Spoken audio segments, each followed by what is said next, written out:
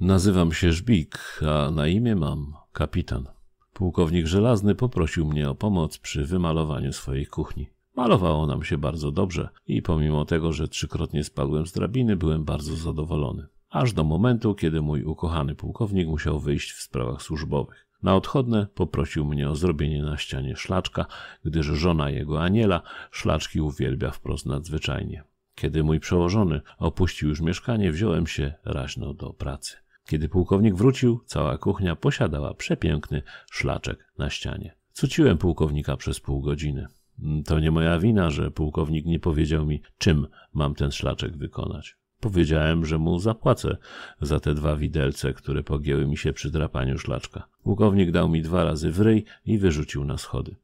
Wiem, że to jedna z moich najkrótszych przygód, ale opisuję ją ku przestrodze innym. Jeżeli będziecie robić kiedykolwiek szlaczek w kuchni, nie używajcie nigdy dwóch widelc, najwyżej jednego, bo za dwa dostaje się dwa razy w ryj.